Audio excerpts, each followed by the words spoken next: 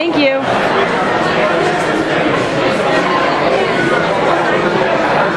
It's my absolute favorite part of the con. These are all the artists. It's my favorite part. This is what makes Comic Cons work at all. Yeah, yeah, you can go flashy, but if you don't have artists, you're in trouble. Right? I'd say so. You don't have someone to actually, you know, make the art. It's a problem. Willy Wonka. Okay, which one of you did the Willy? I You did. did it? Can I have your name? My name is Rich Pellegrino. You can get it on richpellegrino.com. richpellegrino.com. Okay, I will definitely put that up there. Thank you. It's my favorite, Willy Wonka. Yeah, it's I love Johnny Depp, but he's my favorite. Yeah. What inspired you? Do you like the movie? Or? I was in a show uh, called Crazy 4 Cult with Gallery 1988, and uh, you know, Willy Wonka's not exactly a cult film. It's very famous, but I wanted to make the definitive version of it, capture the crazy, psychotic nature of him, but also the nice, friendly charm too. So The crazy psychotic nature and the charm. Let's see. Definitely. Look at the eyes. Wow. Wow. Beautiful artistry. Beautiful. Uber, how you doing? How are you? Good. I'm actually okay, a so writer. who am I? not- Who am I, I do talking? my own art type of creepy doodles, nice. But in actuality, I'm the writer of this book that we've joined forces to make. He is the writer of the anchor of her wind. That's right. That's Okay. And what's your book about?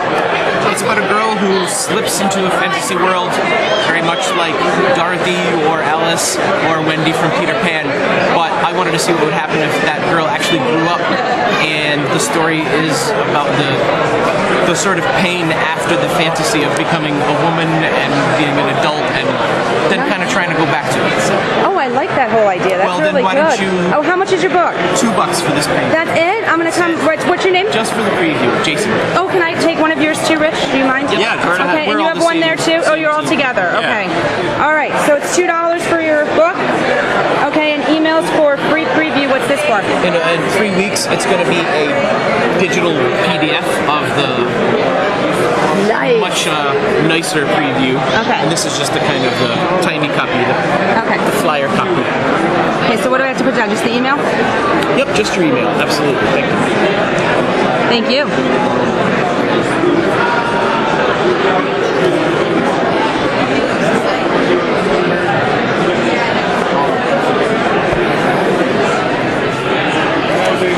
Okay, let me. I'll be right back. Sure. Okay. Yep. Because I'm a want this writer. That's one more spot. The one you want to go with? Hi. I don't want to get in the way of you guys. That's him. He's here. So you're a writer. How long have you been writing?